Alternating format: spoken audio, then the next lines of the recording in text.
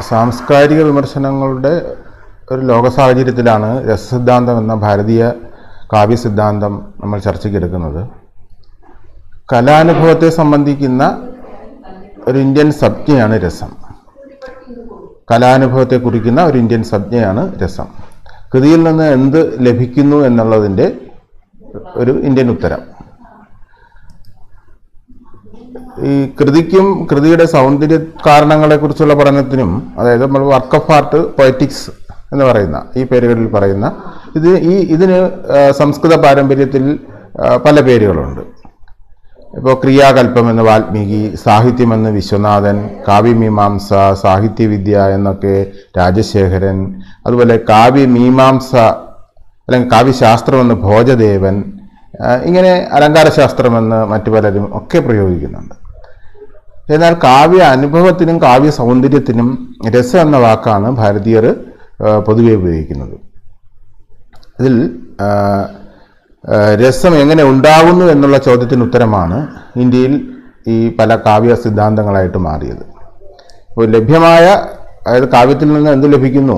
കാവ്യാനുഭവം. എന്നതിനെ സംബന്ധിച്ച് ലഭ്യമായ ആദ്യത്തെ സിദ്ധാന്തം നാട്യശാസ്ത്രകാരന്റെതാണ്. എന്നാൽ രസ രസമാണ് കാവ്യാത്മാവ് എന്ന സിദ്ധാന്തത്തിന്റെ അവതാരകൻ ശൗധോ അല്ലെ ശുദ്ധോദിനി എന്ന് പറയുന്ന ആളാണ് പതിനാറാം നൂറ്റാണ്ടിൽ ജീവിച്ചിരുന്ന ആൾ. ആണെന്ന് പലരും അഭിപ്രായപ്പെടുന്നുണ്ട്. കേശവമിത്രൻ അലങ്കാര ശേഖരത്തിൽ പറയുന്നുണ്ട്. അങ്ങനെയൊക്കെ അഭിപ്രായപ്പെടുന്നുണ്ട്. പക്ഷെ അതിനെ സംബന്ധിക്കുന്ന കൂടുതൽ വിവരങ്ങൾ നമുക്കിന്ന് ലഭ്യമല്ല. ആ നിലയിൽ നാട്യശാസ്ത്രകാരന്റെ അഭിപ്രായമാണ് രസ സിദ്ധാന്തങ്ങളുടെ തുടക്കം എന്ന് തീർച്ചയായിട്ടും പറയാം. അദ്ദേഹത്തിന്റെ അഭിപ്രായത്തിന് പല വ്യാഖ്യാനങ്ങളും പല കാലങ്ങളിലായിട്ട് ഉണ്ടായിട്ടുണ്ട്. ഈ സിദ്ധാന്തങ്ങൾ നമുക്ക് പരിശോധിക്കാവുന്നതാണ്.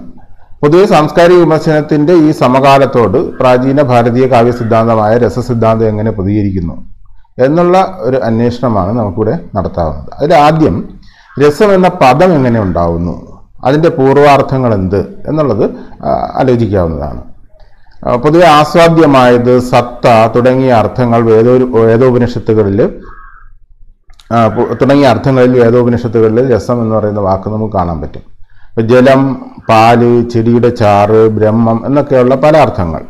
ഇപ്പോൾ ഉപനിഷത്തിൽ ബ്രഹ്മം എന്ന് പറയുന്ന അർത്ഥത്തിന് അലൗകികമായ അർത്ഥമൊന്നുമില്ല. ഇപ്പോൾ ചാന്തോക്യ ഉപനിഷത്തിൽ ബ്രഹ്മത്തിന് ചിത്തം ധ്യാനം വിജ്ഞാനം ആശയം പ്രാണൻ എന്നൊക്കെ അർത്ഥം പറഞ്ഞു പോകുന്നുണ്ട്. അതായത് ഉപനിഷത്തിലെ ബ്രഹ്മത്തിന് ഭൗതികമായ സത്ത എന്നുള്ള അർത്ഥമാണ്. പൊതുവേ രസം എന്ന വാക്കിന് സത്ത എന്നൊരർത്ഥം കൊടുക്കാമെന്ന് തോന്നുന്നു. ആസ്വാദ്യമായ ഒരു സത്ത എന്നുള്ള അർത്ഥം.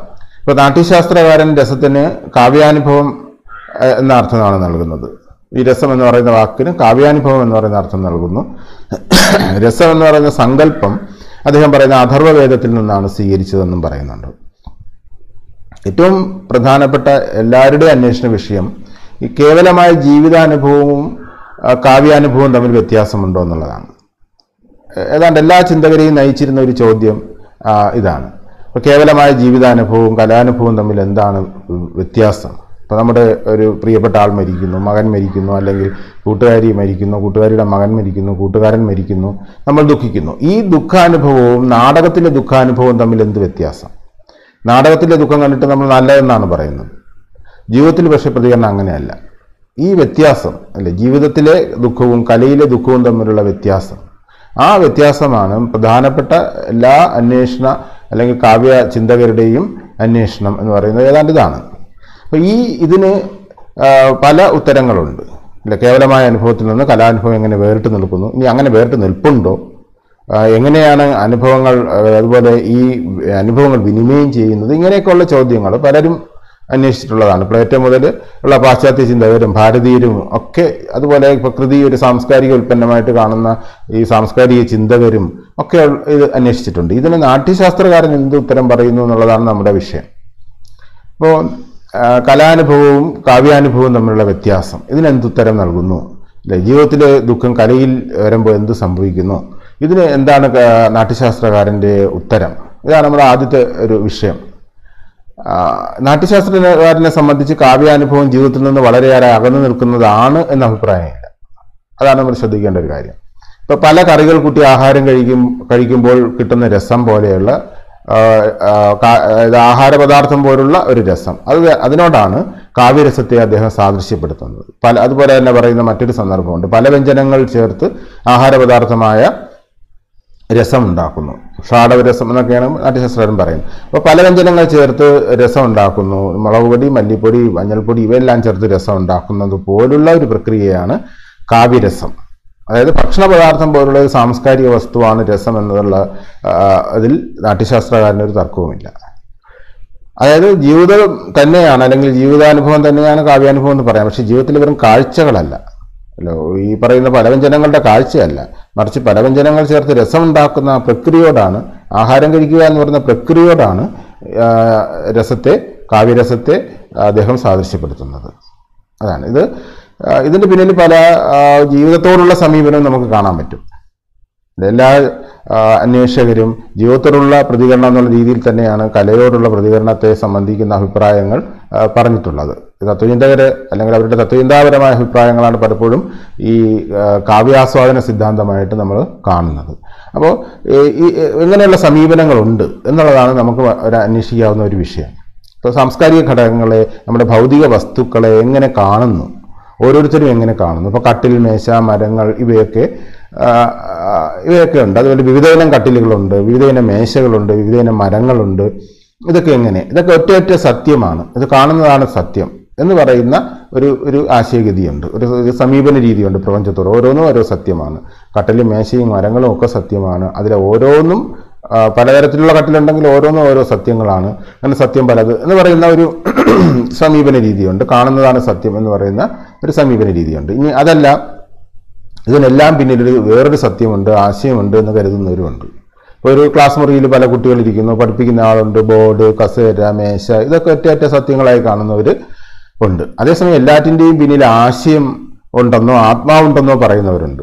അല്ല എല്ലാ മനുഷ്യരുടെയും പിന്നിലൊരു ആത്മാവുണ്ട്. അല്ലെങ്കിൽ എല്ലാ ഭൗതിക വസ്തുക്കളുടെയും പിന്നിലൊരു ആശയമുണ്ട്. ഇപ്പോൾ പ്ലേറ്റോ എല്ലാറ്റിന്റെയും പിന്നിൽ ആശയമുണ്ട് എന്ന് പറഞ്ഞു എന്ന് നിങ്ങൾക്കറിയാം.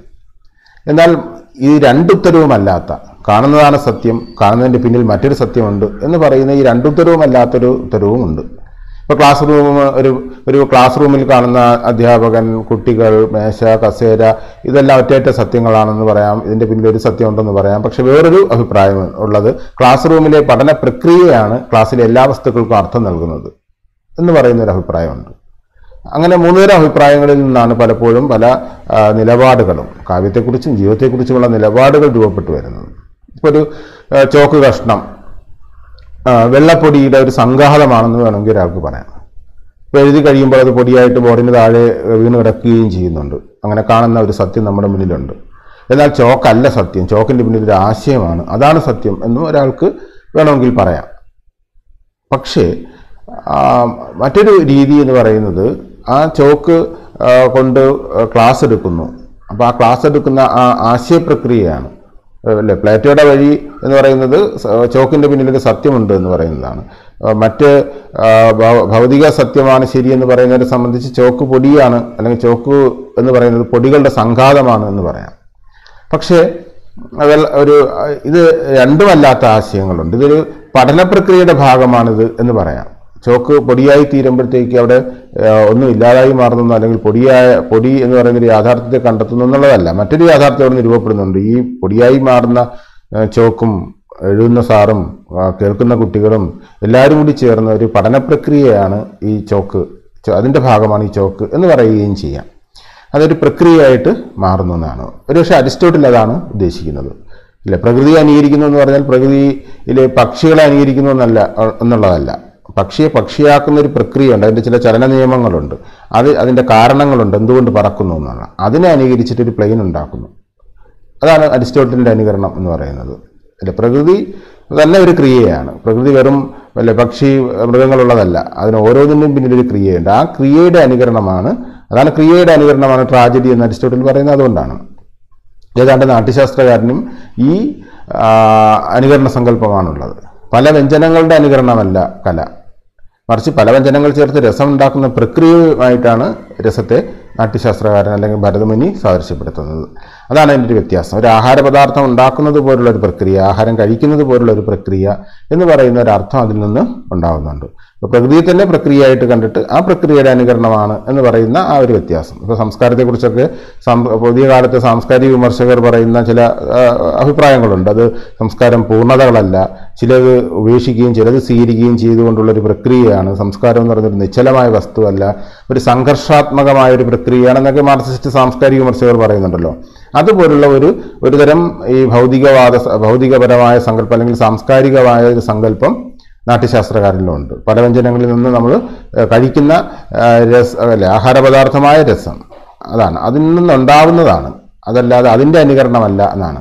അതുകൊണ്ടാണ് ഭാവവും രസവും നാട്യശാസ്ത്രകാരൻ സങ്കല്പിക്കുന്നത്. ഭാവത്തിൽ നിന്നാണ് രസം ഉണ്ടാകുന്നത് അതിന് മുൻപ് ഒരു അനുഭവം ഉണ്ട്. അതിൽ നിന്ന് ഒരു രസം ഉണ്ടാകുന്നു രസാനുഭവത്തിന്റെ പൂർണ പൂർവരൂപമാണ് ഭാവം എന്ന് വേണമെങ്കിൽ പറയാം. ഇപ്പം മുളക് പൊടി മല്ലിപ്പൊടി മഞ്ഞൾപ്പൊടി പുളി ഇവ ചേർന്ന് രസം ഉണ്ടാകുന്നു എന്ന് പറയുമ്പോൾ അതിന്റെ രസത്തിന്റെ പൂർവരൂപമാണ് മുളക് പൊടി മഞ്ഞ മഞ്ഞൾപ്പൊടി എന്ന് പറയുന്ന കാര്യങ്ങൾ അതിന്റെ പ്രക്രിയകൾ അതേപോലെ രസത്തിന്റെ പൂർവരൂപമാണ് മുളക് പൊടി അപ്പോൾ മുളക് പൊടിയെ ഭാവത്തോട് സാദൃശ്യപ്പെടുത്തിയാൽ ആഹാര പദ ആഹാര പദാർത്ഥമായ രസം എന്ന് പറയുന്നത് കാവ്യരസമാണ്.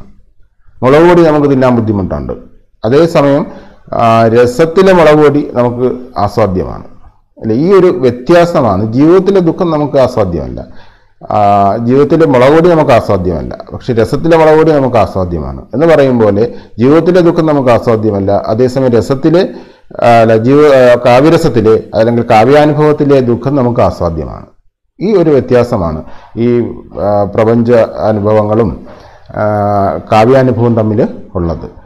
അതായത് കാവ്യരസം ഭക്ഷണം പോലുള്ളൊരു സാംസ്കാരിക വസ്തുവാണ് പക്ഷെ അതൊരു നിർമ്മിതിയാണ് ആസ്വാദ്യജനകമാണ് എന്ന് പറയുന്നതാണ് ആ ഒരു വ്യത്യാസം എന്ന് പറയുന്നത്. അപ്പോൾ ജീവിതാനുഭവം കാവ്യാനുഭവം തമ്മിലുള്ള ബന്ധത്തെക്കുറിച്ചുള്ള ഉത്തരമാണ് നമ്മളിവിടെ പരിശോധിച്ചത്. അതിൽ ഇപ്പോൾ ജീവിതാനുഭവം തന്നെയാണോ കാവ്യാനുഭവം എന്ന് ചോദിച്ചാൽ അങ്ങനെ ഒറ്റ വാക്കിൽ നമുക്ക് അതിന് ഉത്തരം പറയാൻ പറ്റില്ല ജീവിതാനുഭവം തന്നെയാണ് കാവ്യാനുഭവം. എന്നാൽ ജീവിതം തന്നെ പ്രക്രിയകളുടെ ഒരു ഒരു ഒരു സംഘാതമായതുകൊണ്ട് അതിന്റെ എന്താണ് അനുകരണമാണ് കാവ്യാനുഭവം എന്ന് പറയുമ്പോൾ ആ പ്രക്രിയയുടെ ഒരു നിർമ്മിതി. അതായത് നിർമ്മിതി ആണ് അതേസമയം അത് പൂർവാനുഭവമാണ് അല്ലെങ്കിൽ ജീവിതാനുഭവമാണ് എന്ന് പറയുന്നത് എന്നാണ്. അതായത് ഒരു നിശ്ചലമായ ജീവിതാനുഭവത്തിൽ നിന്ന് വ്യത്യസ്തമാണ്. ക്രിയാത്മകമായ ജീവ ജീവിതത്തിൽ നിന്നുണ്ടാകുന്ന മറ്റൊരു ക്രിയാത്മകമായ സൃഷ്ടിയാണ് കാവ്യാനുഭവം എന്ന് പറയുന്നത്. അതാണ് അതിന്റെ ഒരു വ്യത്യാസവും സാമ്യവും എന്നൊക്കെ പറയുന്നത്.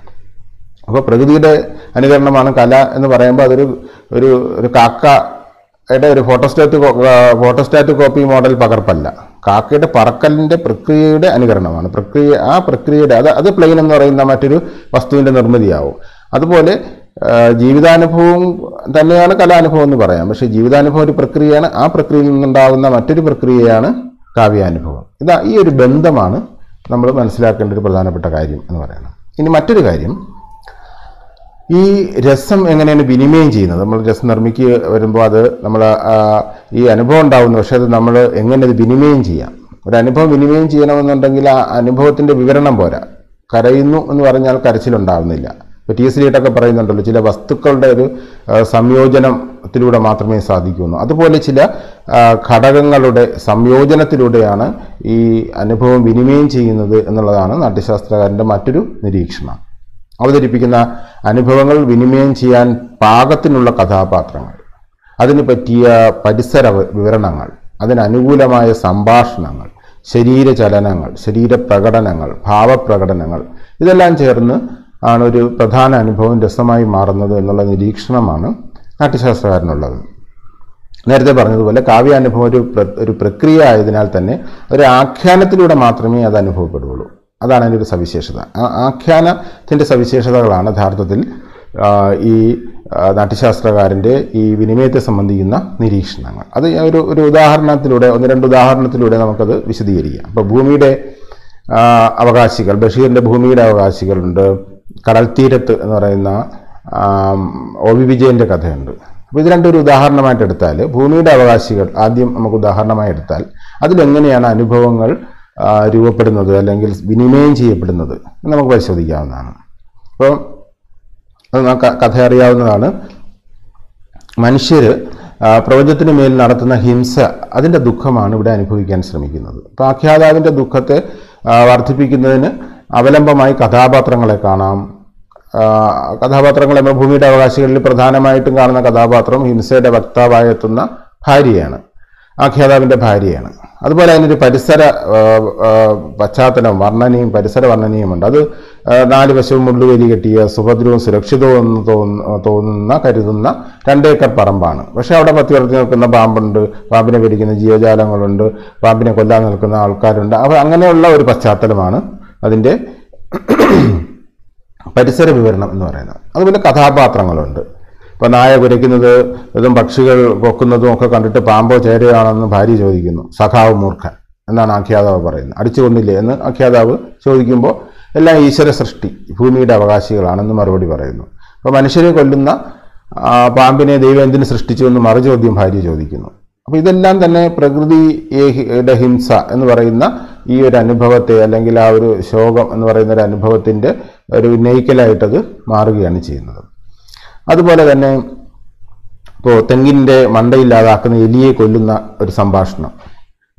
എലി വിഷം വാങ്ങാൻ ആഖ്യാതാവ് നിർബന്ധിക്കപ്പെടുന്നത്. ഇരുന്നൂറ് എട്ടുകാലി അൻപത് പാറ്റ അങ്ങനെ തുടങ്ങി തുടങ്ങിയവ എന്ത് ചെയ്തു എന്ന് ഭാര്യ ചോദിക്കുമ്പോൾ കൊന്നു. അല്ല ആഖ്യാതാവ് ചോദിക്കുമ്പോൾ കൊന്നു എന്നുള്ള മറുപടി ഭാര്യ പറയുന്നു. അപ്പോൾ അവ ഭൂമിയുടെ അവകാശികളാണെന്ന് ആഖ്യാതാവ് പറയുന്നു. തേങ്ങാക്കുല എന്നാണ് ഭാര്യയുടെ മറുപടി. അപ്പോൾ അതുപോലെ തെങ്ങി അതുപോലെ തെങ്ങിന്റെ മണ്ടയിലെ കരിക്കിനെ നശിപ്പിച്ച എലിയെ കൊല്ലണമെന്ന് ഭാര്യ തീർത്തു പറയുകയും അവസാനം എലിയെ കൊല്ലാൻ ആഖ്യാതാവ് തന്നെ പോകേണ്ടിയും വരുന്നുണ്ട്. അപ്പോൾ അത്രയില്ല ആ ഹിംസയുടെ അനുഭവം മുന്നിട്ട് മുന്നിട്ട് വരുന്ന അത്തരത്തിലുള്ള സംഭാഷണങ്ങൾ. ഈ സംഭാഷണങ്ങളും ഹിംസയുടെ ആ അനുഭവത്തെ അല്ലെങ്കിൽ ഹിംസയെ പ്രകൃതി ഹിംസ ദുഃഖത്തെ വർദ്ധിപ്പിക്കുന്നു എന്നുള്ളത് നമുക്ക് മനസ്സിലാവും. അതുപോലെ തന്നെ കഥാപാത്രങ്ങളുടെയൊക്കെ ശാരീരികമായ ചലനങ്ങൾ പ്രകടനങ്ങൾ ഇതൊക്കെ അനുഭവത്തെ ഇപ്പോൾ പടിതാരയെ ഷൂസ് കൊണ്ട് തലക്കടിച്ച് അടിച്ചു കൊല്ലുന്നു എന്ന് പറയുന്ന ആ കൊല്ലൽ. അതുപോലെ ജീവികൾ ജീവികൾ നമുക്കറിയാം ഇരുന്നൂറ് എട്ട് കാലി അൻപത് പാറ്റ മുപ്പത് ജീവികൾ അഞ്ച് തേള എന്നൊക്കെ പറഞ്ഞു പോകുന്ന നാല് പഴുതാര എന്നൊക്കെ പറഞ്ഞു പോകുന്ന അതിന്റെയൊക്കെ കൂട്ടക്കൊലയായിട്ട് മാറുന്ന ഒരു തൂത്തുവാരൽ പ്രക്രിയ. അതുപോലെ ഇത്തരത്തിലുള്ള ശാരീരിക പ്രകടനങ്ങൾ പ്രക്രിയകൾ അതുപോലെ അതൊക്കെ പ്രകൃതിയുടെ മേലുള്ള ഈ പ്രകൃതി ഹിംസ പ്രകൃതിയെ ഹിംസ ദുഃഖത്തെ അനുഭവിപ്പിക്കുകയാണ് ചെയ്യുന്നത്. അതുപോലെ വിഷം കൊടുത്ത് കൊല്ലപ്പെട്ട അനേകം എലികൾ മറ്റും കാണുമ്പോൾ മനുഷ്യന് ഈ ജീവിക്കാൻ ഇവയൊന്നും ഇല്ലാതെ പറ്റൂലേ. ഇങ്ങനെ ആവർത്തിച്ച് ഈ ആ, ഇഷ്ടമില്ലെങ്കിലും ആവർത്തിച്ച് പ്രകൃതി ഹിംസ അനിവാര്യമായി തീരുന്ന ഒരു ഘട്ടത്തിൽ ഈ മനുഷ്യ എന്താണ് മനുഷ്യനും പ്രകൃതിയെ കൊല്ലാതെ ജീവിക്കാൻ പറ്റൂല എന്ന് വിലപിക്കുന്ന ആഖ്യാതാവിനെ നമുക്ക് കാണാം. അതൊരു വിലാപം അതാണ്. ആ- ശാരീരിക പ്രകടനങ്ങൾ അതുപോലെ മറ്റുള്ളവരുടെ ഈ പറയുന്ന ഭാര്യയുടെയും ഒക്കെ പ്രവൃത്തി കൊണ്ടുണ്ടാകുന്ന ഒരു നിസ്സഹായ അനുഭവം അതൊരു ക്ഷണിക അനുഭവമായിട്ട് ഒരു സാന്നിധ്യമായിട്ട് വരുന്നുണ്ട്. ഇത്തരത്തിൽ ഈ പറഞ്ഞ കഥാപാത്ര സാന്നിധ്യം പരിസരം ഇവിടെ പരിസരം എന്ന് പറയുമ്പോൾ ഏക്കർ രണ്ട് രണ്ടേക്കർ വസ്തു കഥാപാത്രം എന്ന് പറയുമ്പോൾ ആഖ്യാതാവിന്റെ ഭാര്യ ഇതിനെയൊക്കെയാണ് വിഭാവം എന്ന് നാട്യശാസ്ത്രകാരൻ വിളിക്കുന്നത്. ഇത്തരം അനുഭവങ്ങൾ വഴിയാണ് വിനിമയം ചെയ്യുന്നത് പറഞ്ഞല്ലോ. ഇതിന് കൊടുക്കുന്ന ഒരു സാങ്കേതിക സംജ്ഞയാണ് ഇവിടെ ഞാൻ പറഞ്ഞത്. വിഭാവം എന്നുള്ളതാണ്. കഥാപാത്രങ്ങളും ആ ഒരു പരിസര സാന്നിധ്യവുമാണ്. വിഭാവം ഇവിടെ തന്നെ രണ്ട് വിഭാവങ്ങൾ നമ്മൾ കാണുന്നു. കഥാപാത്രങ്ങളാവുന്ന ആലംബന വിഭാവവും സാഹചര്യങ്ങളാവുന്ന ഉദ്ദീപന വിഭാവവും. ഇങ്ങനെ രണ്ട് പേരിട്ട് വിഭാവത്തെക്കുറിച്ച് പറയുകയാണ് ചെയ്യുന്നത്. അപ്പോൾ ആ വിഭാവത്തിന്റെ സാന്നിധ്യം അതുപോലെ സംഭാഷണങ്ങൾ നേരത്തെ പറഞ്ഞു. അതെ ആ അതിനെ നമ്മൾ ആ സംഭാഷണങ്ങൾ നേരത്തെ ഭാര്യയും ആഖ്യാതാവും തമ്മിലുള്ള സംഭാഷണം പറഞ്ഞു. ജീവിയെ തല്ലിക്കൊല്ലുന്ന പ്രവൃത്തി പറഞ്ഞു. കൊല്ലാതെ ജീവിക്കാൻ പറ്റൂല എന്നുള്ള വിലാപമുണ്ട്. ഇതെല്ലാം കൂടി ചേർത്താണ് അനുഭാവങ്ങൾ എന്ന് പറയുന്നത്.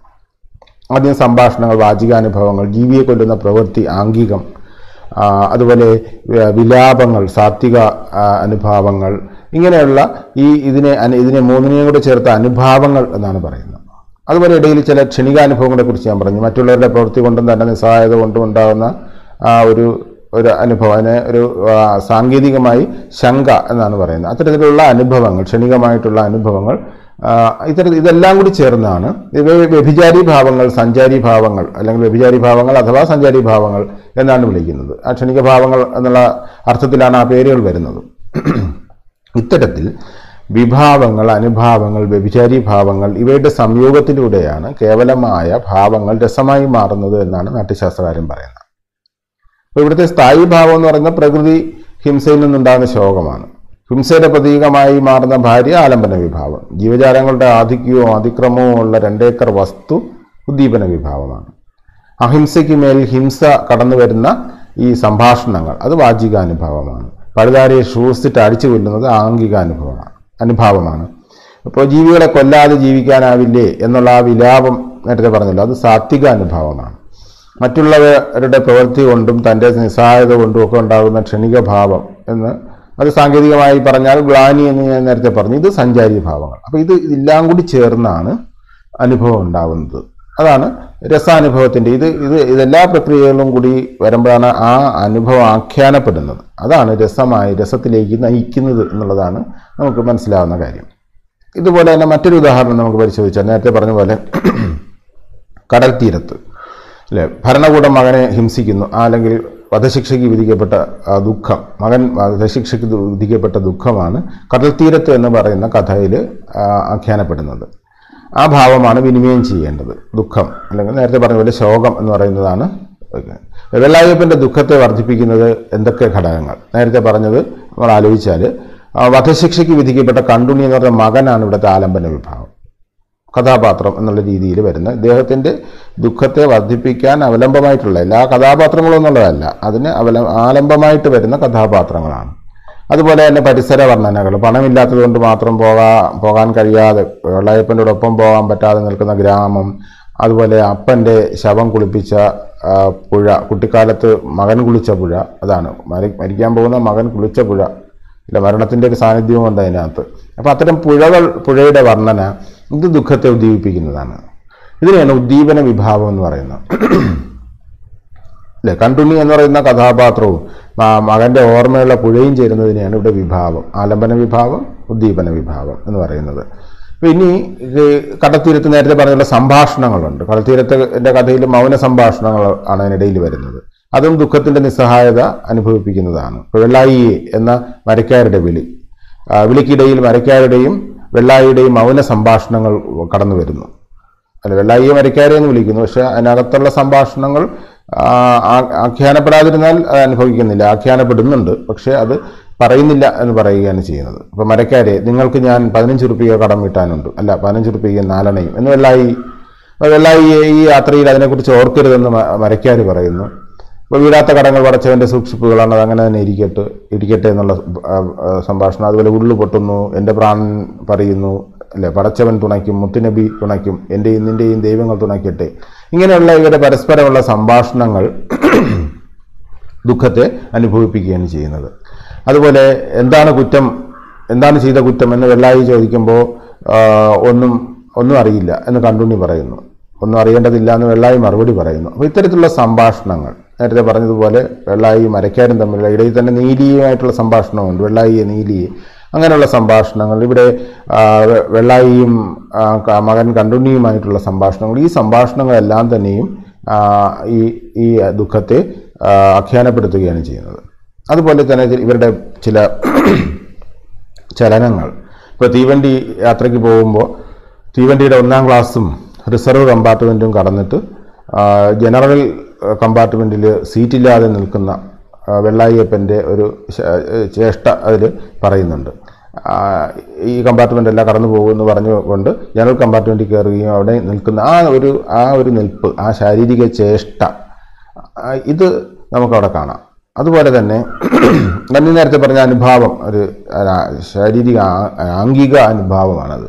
അതുപോലെ തന്നെ നിശ്വാസവും ഓർമ്മക്കുറവും ഒക്കെ വെള്ളായിയപ്പന്റെ ദുഃഖത്തെ വിനിമയം ചെയ്യുന്നതാണ്. അവിടെ ഉണ്ടാകുന്ന വെള്ളായിയപ്പന്റെ ഒരു നിശ്വാസം ഓർമ്മക്കുറവ് അതുപോലെ ഇതൊക്കെ വിനിമയം ചെയ്യുന്നുണ്ട്. ഇവിടെ നമ്മൾ മൊത്തത്തിൽ നോക്കിയാൽ ഇവിടെ സംഭാഷണങ്ങളുണ്ട്. അതിനെ നമുക്ക് വാചികാനുഭാവമായി മാറുന്നു. വെള്ളായപ്പന്റെ നിസ്സഹായമായ നടത്തവും നിൽപ്പും ഉണ്ട് അത് ആംഗിക അനുഭവമായി മാറുന്നു.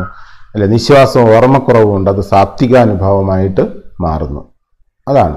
അപ്പോൾ നാട നാടകത്തിലും ചലച്ചിത്രത്തിലും ആണെങ്കിൽ ഇത് ആംഗിക വാചിക സാത്വിക അഭിനയ രീതികളാണ് ഇതിൽ അതേസമയം ചില അനുഭവങ്ങളുമുണ്ട്. ക്ഷണികമായിട്ടുള്ള ദുഃഖ പോലുള്ള തന്നെ അനുഭവ പ്രകടനങ്ങളാണ്. അപ്പോൾ അത് വാക്കും ഇവിടെ നമ്മൾ കാണുന്നത് വാക്കും പ്രവൃത്തിയും അല്ല സംസാരിക്കാൻ പറ്റാതെ പോകുന്നു ഒന്നും ചെയ്യാൻ പറ്റാതെ പോകുന്ന ഒരു തരം ഒരു ഗ്ലാനി എന്ന് സാങ്കേതികമായി പറയുന്ന ഒരു അനുഭവം ഇവിടെയുണ്ട്. ഇതാണ് ഇതെല്ലാം കൂടി ചേർന്നാണ് കടൽ തീരത്ത് എന്ന് പറയുന്ന കഥയുടെ സമഗ്ര അനുഭവത്തെ നിർണയിക്കുന്നത് ഇവിടെ പറഞ്ഞ ഈ ഗ്ലാനിയാണ് അത്തരത്തിലുള്ള ക്ഷണിക അനുഭവങ്ങളെയാണ് നേരത്തെ പറഞ്ഞ പോലെ വ്യഭിചാരി ഭാവങ്ങൾ അഥവാ സഞ്ചാരി ഭാവങ്ങളെന്ന് വിളിക്കുന്നത്. അപ്പോൾ ഇവിടെ ഇതെല്ലാം കൂടി ചേരുന്നു. ഇവിടെ കടൽത്തീരത്തെ ഈ സംഭാഷണങ്ങൾ നേരത്തെ പറഞ്ഞ പോലെ കഥാപാത്രങ്ങൾ പുഴ പുഴയെക്കുറിച്ച് വരുന്ന വർണനകൾ ഇതെല്ലാം കൂടി ചേർന്നാണ് ഈ അനുഭവം ഉണ്ടാക്കുന്നത്. വെള്ളായ്യപ്പന്റെ ശോകമാണ് നമുക്ക് ആവിഷ്കരിക്കേണ്ടത്. ഇപ്പോൾ വധശിക്ഷയ്ക്ക് വിധിക്കപ്പെട്ട മകൻ ആലംബന വിഭാഗമാണ് മകനെ കുളിപ്പിച്ച പുഴ ഉദ്ദീപന വിഭാഗമാണ് വെള്ളായി മരയ്ക്കാരും തമ്മിലുള്ള വനഭാഷണങ്ങളും വെള്ളായി മകനും തമ്മിലുള്ള സംഭാഷണങ്ങളും വാചിക അനുഭവങ്ങളാണ് ഇപ്പോൾ ഒന്നാം ക്ലാസ്സും റിസർവ് കമ്പാർട്ട്മെന്റും കടന്ന് ജനറൽ കമ്പാർട്ട്മെന്റിൽ കയറിയുള്ള നിൽപ്പ് ആംഗിക അനുഭവമാണ് അവിടെ ഉണ്ടാകുന്ന നിശ്വാസം ഒക്കെ ഓർമ്മക്കുറവ് ഒക്കെ സാത്വിക അനുഭവങ്ങളാണ് നേരത്തെ പറഞ്ഞ പോലെ വാക്കും പ്രവൃത്തിയും ഒക്കെ നഷ്ടപ്പെട്ടു പോകുന്ന ഒന്നും പറയാൻ പറ്റാതെ പോകുന്ന എന്താണ് അനുഭവങ്ങളാണ് ഭാവങ്ങളാണ് ഗ്ലാനി എന്ന് പറയുന്നത്. ഇത് ക്ഷണികമായിട്ടുള്ള ഭാവപ്രകടനങ്ങളാണ്.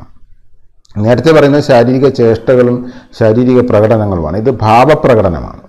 അതാണ് നമ്മൾ സാത്വിക അനുഭാവങ്ങളും ഈ വ്യഭിചാരി ഭാവങ്ങളും തമ്മിലുള്ള വ്യത്യാസം അതാണ്. ശാരീരിക പ്രകടനങ്ങളാണ്. ഇത് ശാരീരിക ഭാവങ്ങളാണ്.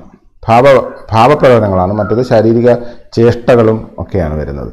ഇവിടെ ഇതിനെ വ്യഭിചാരി ഭാവം എന്ന് പറയുന്നത് ഇത്തരത്തിലൊരു കൃതിയെ അനുഭവിപ്പിക്കാൻ ശ്രമിക്കുന്ന മനോവികാരങ്ങൾ കഥാപാത്രങ്ങളിലൂടെ പരിസര വർണനകളിലൂടെ കഥാപാത്രങ്ങളുടെ സംഭാഷണങ്ങളിലൂടെ ശാരീരിക ചേഷ്ടകളിലൂടെ അവരുടെ ക്ഷണിക ഭാവ പ്രകടനങ്ങളിലൂടെയാണ് രസമായി മാറുന്നത്. ഇപ്പോൾ വ്യക്തി വ്യക്തികളെയും കാലങ്ങളെയും ആർത്ഥത്തിൽ അല്ലെ സ്ഥലകാലങ്ങളെയും പരിഗണിക്കുന്നു ആർത്ഥത്തിൽ അത് ചരിത്രപരമാണ് എന്ന് വേണമെങ്കിൽ പറയാം. അതായത് വിഭാവത്തിന് സ്ഥലകാല സാഹചര്യത്തിന് കാലഘട്ടം എന്ന അർത്ഥം പിൽക്കാലത്ത് മുണ്ടശ്ശേരി കൊടുക്കുന്നുണ്ട്. അപ്പോൾ ആ അർത്ഥത്തിൽ നോക്കുമ്പോൾ വ്യക്തികൾ വ്യക്തികളെയും സ്ഥലകാലങ്ങളെയും അതുപോലെ സ്ഥലകാലങ്ങളാകുന്ന ചരിത്ര ഭൗതിക സാഹചര്യങ്ങളെയും സംഭാഷണങ്ങളെയും ശരീരചലനങ്ങളെയും ഭാവപ്രകടനങ്ങളെയും ഒക്കെ സംബോധന ചെയ്തുകൊണ്ട് രസം എങ്ങനെ ആഖ്യാന അല്ലെങ്കിൽ ഭാവം അനുഭവം എങ്ങനെ ആഖ്യാനപ്പെടുന്നു എങ്ങനെ വിനിമയം ചെയ്യപ്പെടുന്നു എന്ന് പറയുന്ന ഒരു സിദ്ധാന്തമാണ് രസസിദ്ധാന്തം എന്ന് പറയുന്നത്. ഇതാണ് അതിന്റെ ഒരു ഒരു ഒരു ഒരു ഭാഗം എന്ന് പറയുന്നത്. ഇനി മറ്റൊരു വിഷയം ഈ- ഈ ഭാവങ്ങളെല്ലാം ചേർന്ന് രസമായി മാറുന്നു എന്ന് പറയുന്നു. അല്ല ഇവിടെ ശോകത്തെക്കുറിച്ച് പറയുന്നുണ്ട്. അതുപോലെ ശങ്ക എന്ന് പറയുന്ന ക്ഷണിക ഭാവത്തെ അനുഭാവത്തെക്കുറിച്ച് പറയുന്നത് അതൊരു ഭാവമാണല്ലോ. നിസ്സഹായതയിൽ നിന്നുണ്ടാകുന്ന ശങ്ക എന്ന് പറയുന്നത് അതുപോലെ വാക്കും പ്രവൃത്തിയും നഷ്ടപ്പെട്ടു പോകുന്ന ഗ്ലാനി എന്ന് പറയുന്ന അനുഭവത്തെക്കുറിച്ച് പറയുന്നുണ്ട്. ഇതെല്ലാം കൃതിയിലുണ്ട്. പക്ഷെ കൃതിയുടെ സമഗ്രമായ അനുഭവം എന്ത്? എന്നുള്ളതാണ് ഒരു വിഷയം. സമഗ്രമായി അതെല്ലാം അനുഭവങ്ങൾ നിൽക്കുന്നു. ഇല്ല കൃതിയിൽ നിന്ന് എന്തൊക്കെ അനുഭവങ്ങളാണ് കിട്ടുന്നത് എന്ന് പറയുന്നതാണ് മറ്റൊരു വിഷയം എന്ന് പറയുന്നത്. അതിന് നാട്യശാസ്ത്രകാരന് ഉത്തരമുണ്ട്. പ്രധാനമായിട്ട് നാട്യശാസ്ത്രകാരൻ എട്ട് അനുഭവങ്ങൾ കിട്ടുന്നു. സമഗ്രമായ അനുഭവം എന്നുള്ള രീതിയിൽ എട്ട് അനുഭവങ്ങളാണ് പ്രധാനമായും ലഭിക്കുന്നതെന്നാണ് പറയുന്നത്. ഓരോ കൃതിയും ഓരോ അനുഭവം ആണ് നൽകുന്നത്. അത് നമുക്കറിയാം.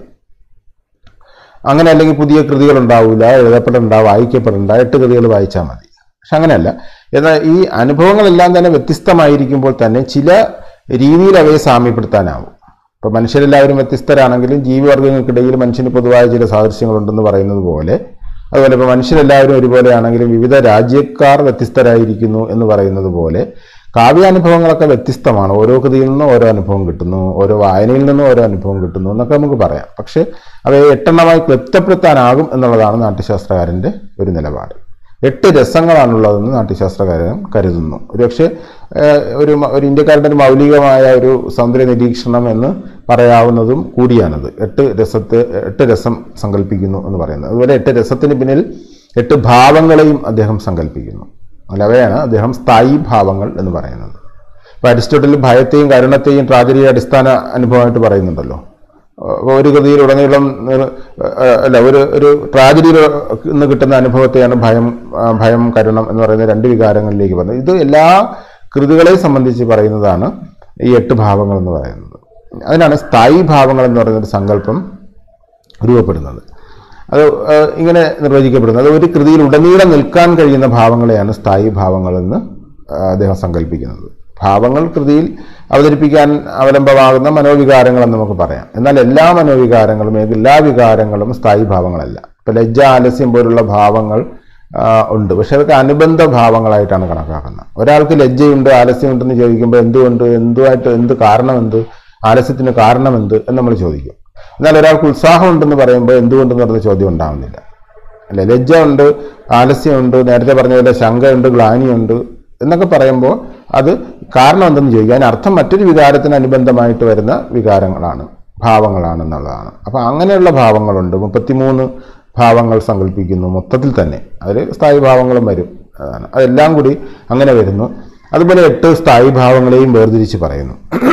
ഈ സ്ഥായി ഭാവങ്ങളുടെ സവിശേഷതയാണ് നമുക്ക് അന്വേഷിക്കേണ്ട മറ്റൊരു ഒരു കാര്യം.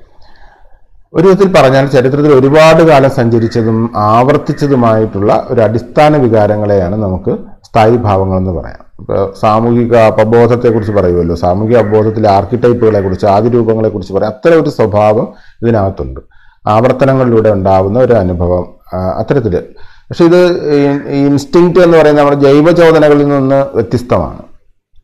ജൈവചോദനകളല്ല അത്. ജൈവചോദനകളുമായിട്ട് ബന്ധമുണ്ട് അതിന്റെ പരിണാമമുണ്ട്. ഇപ്പം മൃഗരീതിയിൽ നിന്ന് മനുഷ്യരീതിക്ക് വ്യത്യാസമുണ്ട്. അതിന് കാരണം എന്ത് എന്ന് ചോദിച്ചാൽ അല്ല മനുഷ്യന്റെ രീതിയല്ല മൃഗത്തിന്റെ രീതി. അതിന് കാരണം ചരിത്രമാണ്. അതേസമയം ഏറ്റവും പ്രാചീനമായ കാലത്ത് അങ്ങനെ ആവണമെന്നില്ല. ഇപ്പോൾ പട്ടിയെ പേടിക്കുന്ന പൂച്ച ഉണ്ട്. അങ്ങനെ ഒരു ഭയമുണ്ട്. പട്ടിക്ക് പട്ടിയെ കണ്ട് പേടിക്കുന്ന പൂച്ചയുടെ ഒരു ഭയമുണ്ട്. പക്ഷേ ആ ഭയത്തിൽ നിന്ന് വ്യത്യസ്തമാണ് മനുഷ്യന്റെ ഭയം. അതെന്തുകൊണ്ട്? അല്ലെ മനുഷ്യൻ പൂ അല്ലെങ്കിൽ മനുഷ്യൻ ഇത്തരത്തിലുള്ള മൃഗങ്ങളെ മാത്രമല്ല ചിലപ്പോൾ മനുഷ്യരെ തന്നെ പേടിക്കുന്നു ചില ആശയങ്ങൾ പേടിക്കുന്നു ചിലപ്പോൾ അവനവനെ തന്നെ പേടിക്കുന്നുണ്ട്. അതേസമയം ഈ മൃഗങ്ങളെ പേടിച്ച ഒരു പൂർവചരിത്രവും ഉണ്ട്. ഇപ്പോൾ ഗുഹാകാലത്ത് പിന്നിൽ നിന്ന് ഒരു പുലി ചാടി വീണ ഒരു ഭയം മനുഷ്യന്റെ ഉള്ളിലുണ്ട്. മൃഗരതിയുണ്ട്. പക്ഷെ ഇതിന്റെ എല്ലാം പരിണാ പരിണിതാംശങ്ങൾ ആണ്. മനുഷ്യനിൽ ഏതെല്ലാം നിലയിൽ വന്നു ചേർന്നിട്ടുണ്ട്. അല്ല ഇപ്പോൾ പ്രാചീന മനുഷ്യന്റെ ഭയമല്ല ഇന്നത്തെ മനുഷ്യന്റെ ഭയം എന്നുള്ളത് തർക്കമില്ല. എന്നാൽ പ്രാചീന മനുഷ്യന്റെ ഭയത്തിന്റെ അംശങ്ങളും അതിന്റെ പരിണാമങ്ങളും ഏതൊക്കെയോ അളവിൽ നമ്മളിലുണ്ട്.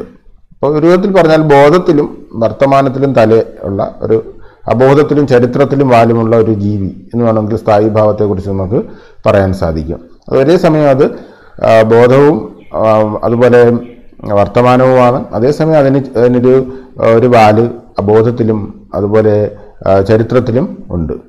എന്നാൽ അത് അത് അതിന്റെ ഒരു പരിണാമ സ്വഭാവത്തിൽ അത് പ്രത്യക്ഷപ്പെടുകയും ചെയ്യുന്നുണ്ട്. ഇങ്ങനെ ചരിത്രത്താൽ നയിക്കുന്നതും ചരിത്രത്തെ നയിക്കാൻ ശേഷിയും ഒക്കെ ഉള്ള സ്ഥായി ഉള്ളവയാണ് സ്ഥായി ഭാവങ്ങൾ നമുക്ക് നമുക്ക് പറയാം അങ്ങനെയാണെങ്കിൽ. ചുരുക്കി പറഞ്ഞാൽ അതിന് ഒരു വൈരുദ്ധ്യ സ്വഭാവമുണ്ട്. അതാണ്.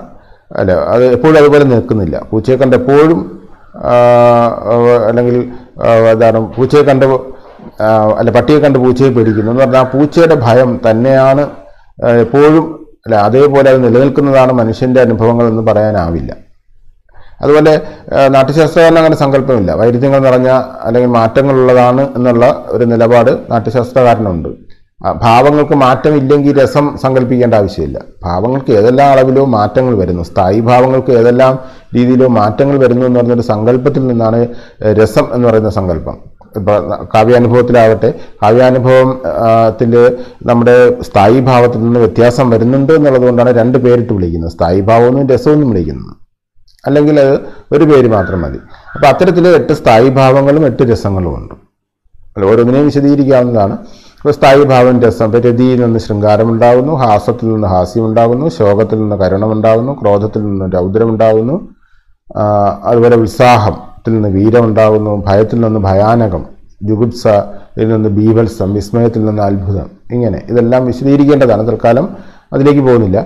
ഇപ്പോൾ ജുഗുപ്സ അല്ലെങ്കിൽ ജുഗുപ്സ അല്ലെങ്കിൽ ബീഭത്സം പോലുള്ള ഒരു രസം ഇന്ത്യക്കാർ സങ്കല്പിച്ചു എന്നൊക്കെ പറയുന്നതാണ്. അതിന്റെ കൃതികൾ ഏതൊക്കെ അതെങ്ങനെ ഉണ്ടാവുന്നു എന്നൊക്കെ നല്ല അന്വേഷിക്കാവുന്ന ഒരു വിഷയങ്ങളാണ്. എന്തായാലും ഈ കലയിൽ നിന്ന് എട്ട് അനുഭവങ്ങൾ ഉണ്ടാവുന്നു എന്നുള്ള രീതിയിലാണ്. എന്നാൽ എട്ട് അനുഭവങ്ങൾ മാത്രമേ ഉണ്ടാവുന്നു എന്നതിന് അർത്ഥമില്ല എട്ട് കൃതികളെ വേണ്ടതുള്ളൂ എന്നുള്ള അഭിപ്രായം നാട്യശാസ്ത്രകാരനില്ല. ഈ സ്ഥായി ഭാവങ്ങളെ പല രീതിയിൽ സ്പർശിച്ചുകൊണ്ട് പുതിയ അനുഭവങ്ങൾ ഉണ്ടാവുന്നു എന്നുള്ളതാണ്. അപ്പോൾ നേരത്തെ സൂചിപ്പിച്ച പ്രകാരം കഥാപാത്രങ്ങളും പരിസരങ്ങളും അതായത് വിഭാവം സംഭാഷണങ്ങൾ ശരീരചലനങ്ങൾ ശരീരചേഷ്ടകൾ അനുഭാവം ക്ഷണികഭാവ സാന്നിധ്യങ്ങൾ വ്യഭിചാരി ഭാവങ്ങൾ ഇവയുടെ എല്ലാം സംയോഗത്തിലൂടെ സ്ഥായി ഭാവം രസമായി പരിവർത്തിക്കുന്നു എന്നുള്ളതാണ് നാട്യശാസ്ത്രകാരന്റെ സങ്കല്പം. ഇവിടെ സ്ഥായി ഭാവങ്ങളും രസവും വ്യത്യാസപ്പെട്ടിരിക്കുന്നു എന്നുള്ളത് ശ്രദ്ധിക്കണം. അല്ലെ? വ്യത്യാസപ്പെട്ടിരിക്കുന്നുണ്ട്. എങ്ങനെ വിഭാവാദികൾ ചേരുന്നു? അല്ലെ ഈ വ്യത്യാസപ്പെട്ടിരിക്കുന്നു എന്നുള്ളത് തർക്കമില്ല. പക്ഷെ എങ്ങനെ വ്യത്യാസപ്പെട്ടിരിക്കുന്നു എന്നുള്ളത് ഇവിടെ വിശദീകരിച്ചിട്ടില്ല. അതുപോലെ വിഭാവാദികൾ ചേരുന്നു അല്ലെ എങ്ങനെ വിഭാവാദികൾ ചേരുന്നു എന്നുള്ളതും വിശദീകരിക്കപ്പെട്ടിട്ടില്ല. അല്ലെ ഇപ്പോൾ അനുഭവം വിനിമയം ചെയ്യുന്ന കാര്യത്തിൽ നാട്യശാസ്ത്രകാരൻ വിഭാവാനുഭാവ വ്യഭിചാരി സംയോഗാതിരസ് നിഷ്പത്തി എന്ന വാക്യത്തിലൂടെ നിരീക്ഷിക്കുന്നുണ്ട്. എങ്കിലും അനുഭവങ്ങൾക്കുണ്ടാകുന്ന പരിണാമ പ്രക്രിയ ഇവിടെ വ്യക്തമല്ല. അത് വിശദീകരിച്ചിട്ടില്ല. എങ്ങനെയാണ് അത് മാറുന്നത്? ഭാവം രസമായി മാറുമ്പോൾ ആ മാറുന്നതിനിടയിലുള്ള പ്രവർത്തനങ്ങൾ. ഈ ഈ- പ്രക്രിയ ഈ പ്രക്രിയയെക്കുറിച്ചുള്ള സൂചനയുണ്ട്. പക്ഷെ അതെങ്ങനെ മാറുന്നു എന്നുള്ളതിനെക്കുറിച്ചുള്ള വിശദാംശങ്ങളില്ല. ഇപ്പോൾ അരിസ്റ്റോട്ടലിന്റെ അനുഭവം വിനിമയം ചെയ്യും ചെയ്യുമ്പോൾ സ്ഥിതി വിപരീയവും പ്രത്യഭിജ്ഞാനവും ഉണ്ടാവുന്നു എന്ന് പറയുന്നുണ്ട്. ഇപ്പം സ്ഥിതി വിപര്യം എന്ന് വെച്ചാൽ അനുഭവങ്ങളിൽ ഒരു തരം അട്ടിമറി സങ്കല്പിക്കും സംഭവിക്കുന്നു. പ്രത്യഭിജ്ഞാനം അതായത് ഒരു തിരിച്ചറിവ് ഉണ്ടാവുന്നു. അനുഭവങ്ങൾ ഇങ്ങനെ വിനിമയം ചെയ്യപ്പെടുമ്പോൾ അനുഭവത്തിന്റെ നിലവിലുള്ള ഒരു ധാരണയിൽ നിന്ന് എന്തോ മാറ്റങ്ങൾ വരുന്നു. അനുഭവങ്ങളിൽ ഈ മാറ്റങ്ങളിലൂടെ എന്തോ തിരിച്ചറിയുന്നു. എന്നൊക്കെയുള്ള ആ ഒരു പ്രക്രിയയിലെ ഇടയിലുള്ള സംഭവങ്ങൾ ആ മാറുന്നതിനുള്ള സംഭവങ്ങളൊക്കെ അരിസ്റ്റോട്ടിൽ സങ്കല്പിക്കുന്നുണ്ട് എന്നാൽ ആ കിട്ടുന്ന അനുഭവത്തിന് വേണ്ടത്ര വിശദീകരണം കൊടുത്തിട്ടില്ല. കഥാർസിസിന് വേണ്ടത്ര വിശദീകരണം കൊടുത്തിട്ടില്ല. അതുകൊണ്ട് തന്നെ കഥാർസിസിന് വീണ്ടും വ്യാഖ്യാനങ്ങൾ ഉണ്ടാവുന്നു അതേസമയം ഭരതമുനി ഭാവം രസം എന്ന് പറഞ്ഞുകൊണ്ട് അനുഭവത്തിന്റെ വ്യത്യസ്തത ഊന്നി പറയുന്നുണ്ട്. പക്ഷെ ആ സംയോഗത്തിൽ എന്ത് സംഭവിക്കുന്നു എന്ന് വേണ്ടത്ര വിശദീകരിച്ചിട്ടില്ല. അതിനാലാണ് രസസിദ്ധാന്തത്തിന് പിന്നീട് വ്യാഖ്യാനങ്ങൾ രൂപപ്പെട്ടു വരുന്നത്.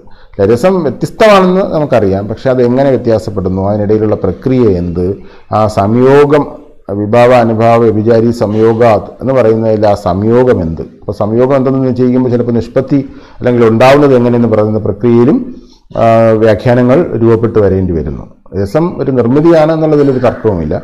പക്ഷേ ആ നിർമ്മിച്ച് ലഭി കിട്ടുന്ന അനുഭവത്തിന്റെ സവിശേഷതകൾ ആ സംയോഗ പ്രക്രിയയുടെ സവിശേഷതകൾ എങ്ങനെ ലഭിക്കുന്നു എവിടെ ലഭിക്കുന്നു തുടങ്ങിയ സവിശേഷത ഇതിൽ നിന്നാണ് പുതിയ അന്വേഷണങ്ങൾ രൂപപ്പെട്ടു വരുന്നത്. അത് പുതിയ സിദ്ധാന്തങ്ങളായിട്ട് തന്നെ മാറുകയാണ്. അവയെക്കുറിച്ച് നമുക്ക് അടുത്ത ക്ലാസ്സിൽ സംസാരിക്കാം.